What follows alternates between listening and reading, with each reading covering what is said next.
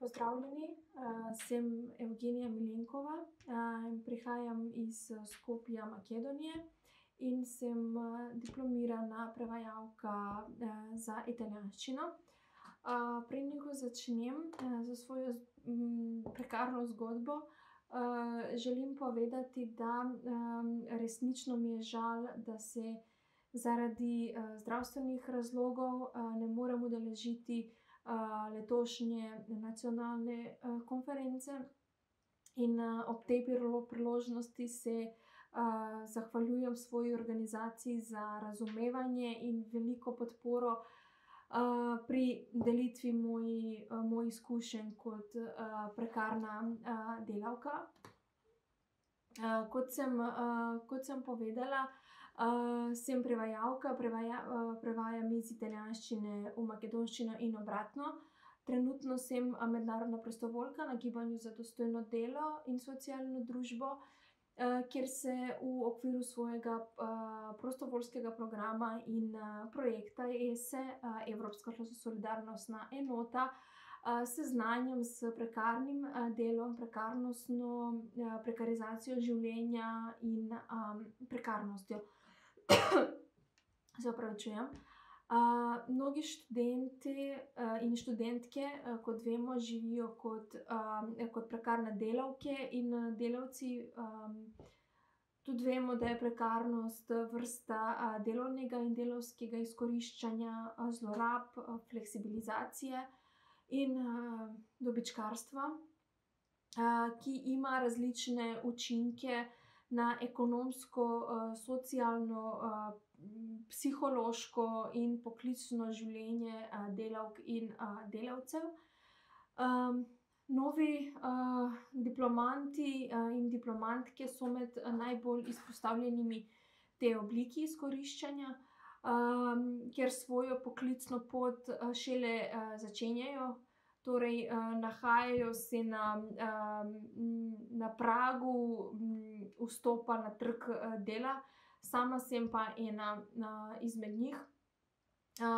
jaz in moji kolegi ter, ter kolegice, smo tisti, ki navadno sprejmemo, vsakršne delovne, razmere in, pogoje, da bi se, z njihovo pomočjo lahko, pridobili nekaj praktičnih, izkušenj.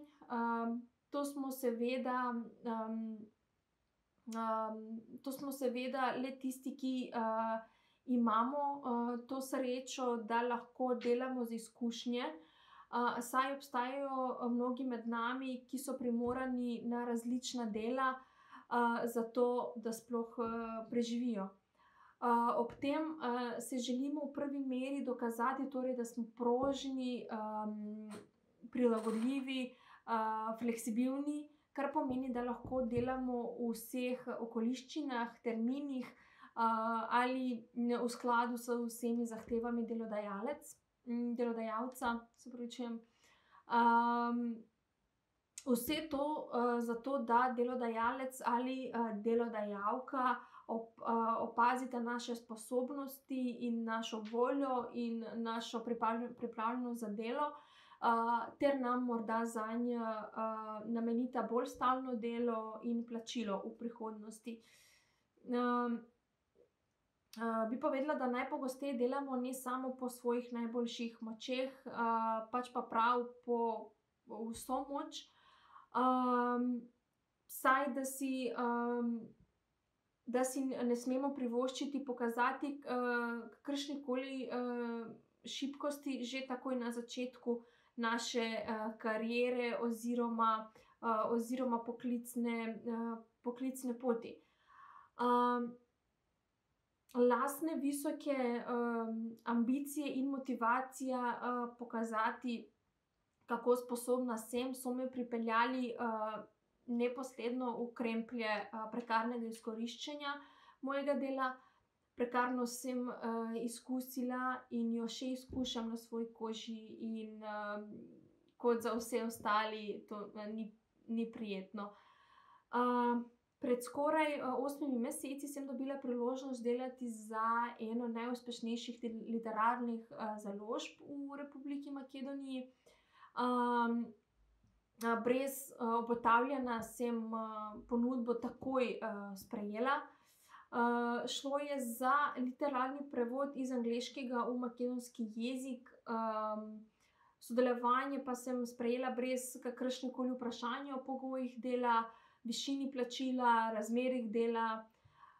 Ampak v naših dogovorih sem, uh, nisem, torej nisem skrivala uh, dejstva, da sem primarno prevajalka za uh, italijanščino, a ne, uh, a ne uh, angliščino.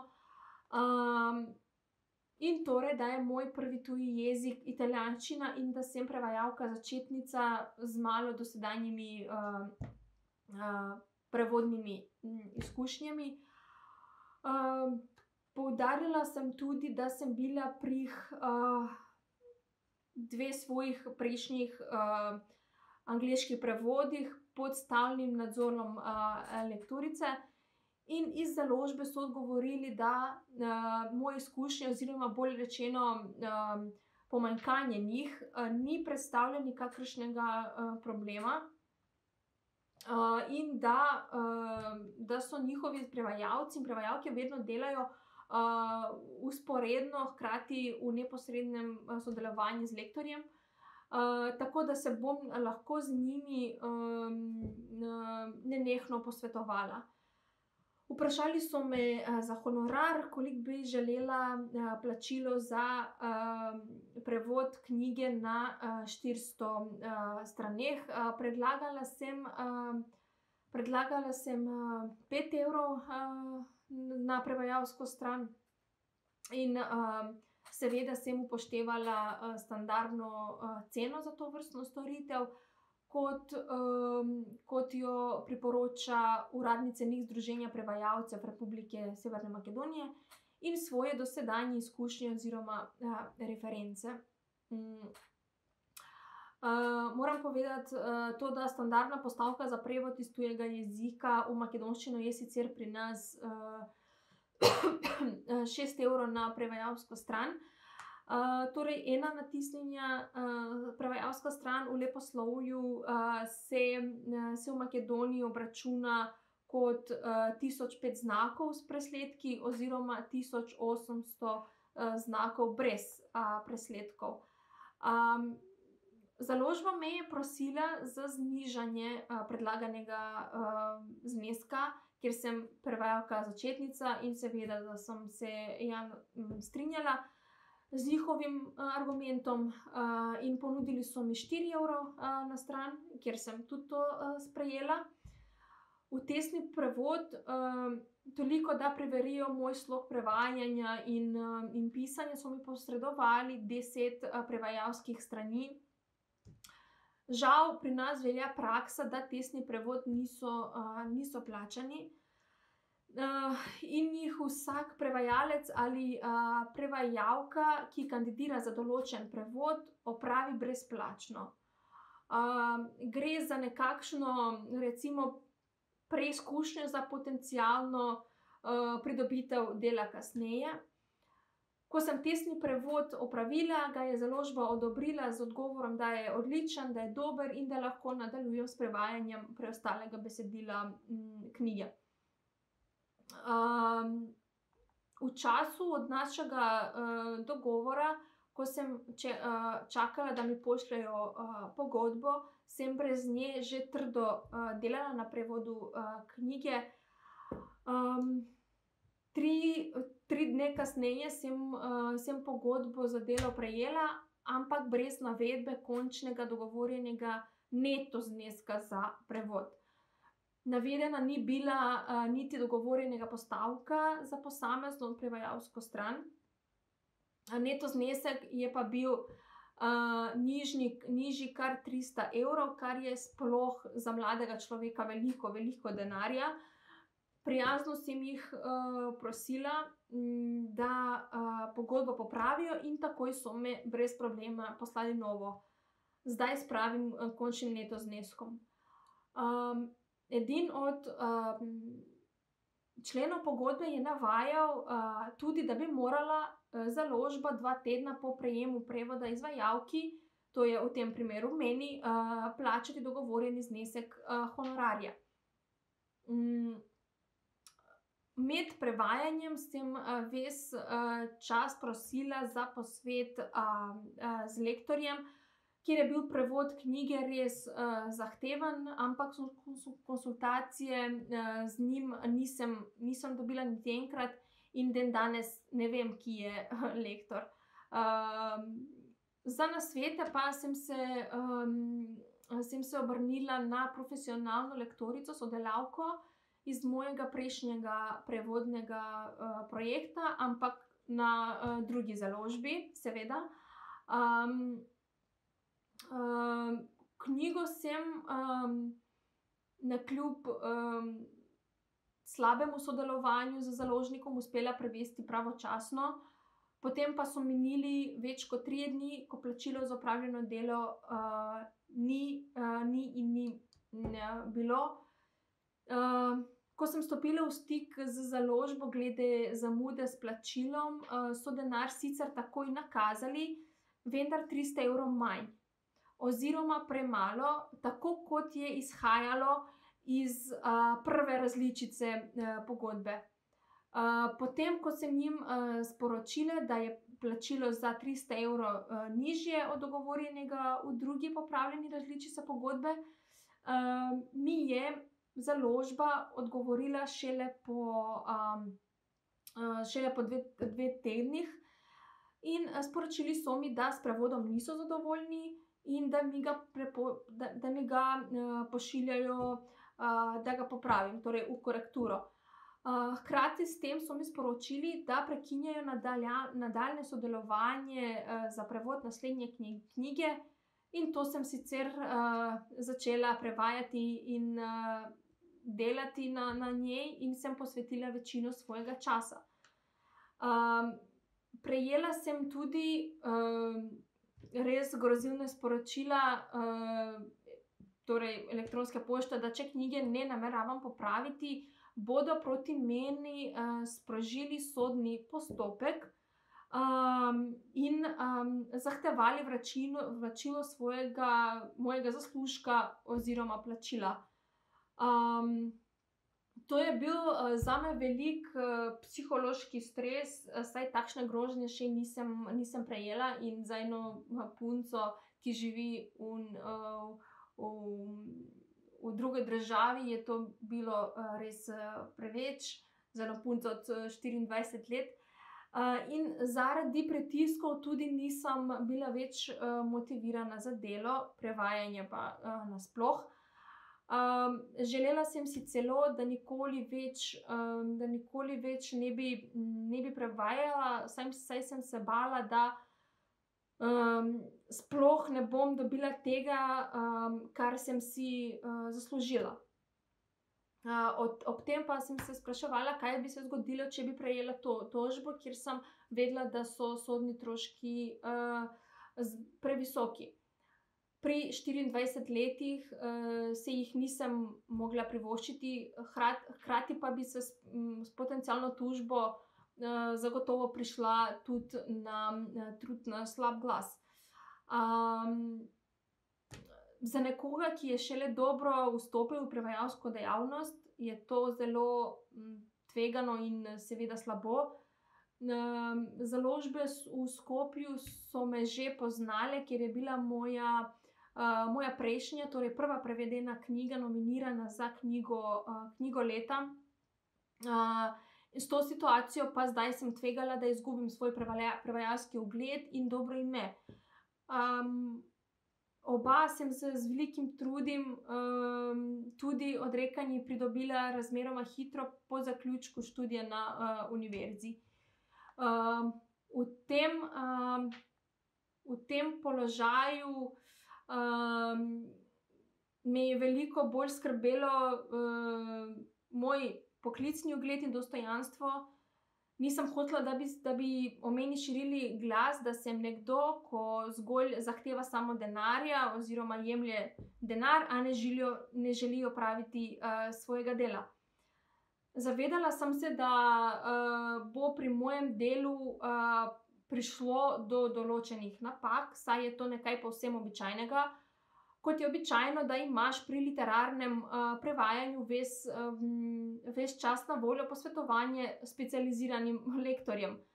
Napake so se pojavile v delih besedila, za katere um, uh, sem pre, predtem prosila za, uh, za strokovni nasvet, ker, ker, ker je to bilo. Uh, te strani so bili prezahtevni, a tega pa nisem dobila. Um, ne pravočasno in tudi ne uh, nasploh. Uh, na založbi so popravili tudi prvi uh, desetih uh, tesnih strani prevoda, ki so jih predhodno že odob odobrili. Uh, ko pa sem jih ponovno uh, uh, prosila za plačilo v celoti, ker to še ni bilo uh, izvedeno, so mi kot očitek vrnili teh prvih deset prevedenih uh, strani, ko so bile sedaj popolnoma, popolnoma popravljene. Uh, naj znova poudarim, um, da, da je bil to del uh, besedila, ki sem ga prevedla za stonj. Kot tesni prevod z namenom pridobitev nadaljnega, uh, nadaljnega dela, torej uh, pridobitev celotnih knjig. Um, ko, se, ko so me uh, sprejeli za, um, za prevajalko, so ta prevod ocenili, ocenili za odličnega, niso imeli uh, pripomb. Dvakrat se, sem knjigo popravila, naredila sem korekturo po navodilih in zahtevah založbe, a mi dogovorjenega honorarja za prevod še vedno niso plačali. Um, kar štirikrat sem zahtevala, um, um, sem zahtevala plačilo celotnega po pogodbi dogovorjenega, dogovorjenega zneska, vendar sem vsakokrat eh, prejela odgovor, da založba prevoda ni obvezana plačati, dokler ni z njim v celoti povsem zadovoljna. So mi pa že predtem povedali, um, da mi um, preostalega denarja ne nameravajo plačati, uh, dokler ustrezno ne popravim prevod splošne plačilne obveznosti po pogodbi založbe so bile sicer um, takšne, um, da, za, da, um, da založnik pla, plači izvajalcu um, celoten neto dogovorjeni uh, znesek za upravljeno delo najkasneje uh, dva do tri uh, tedna po prejemu uh, prevoda, ki je hkrati tudi rok oddaja, oddaja prevoda. Uh, moja delovna odgovornost kot prevajalke so bile dodatne korekture oziroma naknadni popravki in usklajevanje z lektorjem. Vedela sem, uh, da bom morala uh, prevodu po koncu še popravljati, ker je to normalni proces, temu se nisem izogibala, saj poznam in spoštujem uh, naravo prevajalskega dela. Gre za običajen proces uh, vsakega literarnega uh, prevajanja popravljanje in, um, popravljanje in usklajevanje pred tiskom prevedenem knjigo pa lahko traja še mesece po zaključenem uh, delu na prevodu besedila iz tujega jezika. To ne pomeni, da prevajalec mora uh, uh, čakati toliko časa na plačilo. Posvetovala sem se s pravnikom, kjer, ki mi je povedal, da založba nima uh, razloga za tožbo proti meni, kjer sem vse svoje obveznosti izpolnila pravočasno in korektno. Um, prevod sem oddala pravočasno, pravila pa sem tudi uh, dva kroga popravkov, po pogodbi sem morala samo uh, eno, en popravek narediti. Pravnik je uh, poudaril uh, še, da pogodba ni, bi, ni bila popolna, zakonsko je bila ohlapno in nejasno uh, napisana. Med drugim ni bilo natančno določbo, v katerem delu postopka prevajanja pred uh, ali, uh, ali po narejenih popravkih na prevodu, oziroma po prejemu celotnega končnega izdelka, je predvideno plačilo honorarja. Um, v pogodbi uh, tudi ni bilo člena, ki, um, ki je pojasneval, da si v primeru nezadovoljstva s prevodom prevzemajo pravico do odbitka v uh, višini 300 evrov. Uh, od moje nesrečne izkušnje prevajalskim delom z znano makedonsko založbo je zdaj minilo že mm, že nekaj mesecev.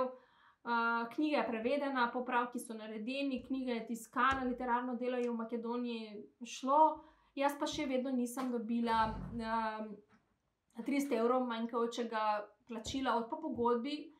Um, založba mi še do, do danes ni uradno odgovorila, glede mojega, mojega zahtevka za plačilo, preprosto so jim zginili in uh, se mi nehali uh, oglašati.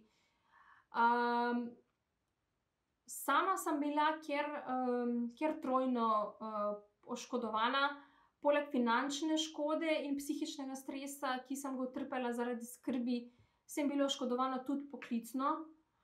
Um, vemo, da na profesionalni poklicni razvoj mladih v sodobnem času um, um, vse bolj vpliva uh, prekarizacija dela torej uh, delovnih uh, razmer um, in pogojev, uh, ter delovne sile.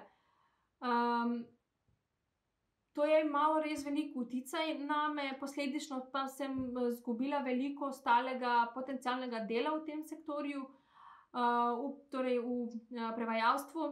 Onemogočena mi je bila moja uh, poklicna pravica do dela, izboljševanja uh, prevajalskih uh, sposobnosti, uh, pridobivanja kompetenc in referenc pri drugih literarnih prevodih, saj je slab glas o meni hitro zaokrožil po področni, mm, po področni sceni. Moj poklicni ugled je načet, informacije o meni kot prevajalke pa mm, se bodo verjetno um, kaj kmalo razširile tudi na druge založbe, ker Makedonija je res majhna, uh, Skopje je pa, uh, čeprav je glavni grad, je tudi majhen. Eh, tako, tako bo moje sodelovanje z njimi v prihodnje omejeno, saj nihče ne bo slišal moje plati, um, moje plati zago, um, zgodbe. Um, nauk uh, moje izkušnje, uh, mlade prevajalke, je torej tak. Um, um, Bodite previdni pri branju pogodb pred njihovim sklepanjem, ker vedno, vedno obstaja možnost, da je v njih kaj skrito ali prikrito. Uh, če, imate, uh, če imate le možnost, vam svetujem, da se pred podpisom pogodbe uh, v zvezi z njo posvetujete s, pravnim um, strokovnjakom. Najpomembneje pa je, verjetno to velja za vsakega od nas, ki smo delavki in delavci, uh, da se zavedamo um, svojih osnovnih pravic um, iz dela in delovnega uh, razmerja. Hvala gibanju za dostojno delo, ker uh, sem se s to področje boljše spoznala. Um, in bolj plastično povedano, zelo pomembno je, da smo vsaj osnovno finančno in pravno um, pismeni kot mladi ljudje, ki uh, šele uh, stopajo na trgu dela, in seveda, da se povezujemo. Če tudi se zdi že ohrabljeno, je moč v povezovanju in medsebojni pomoči ter sodelovanju. Torej, uh, hvala vam, uh, hvala, ker ste me slišali in uh, želim vam lep večer.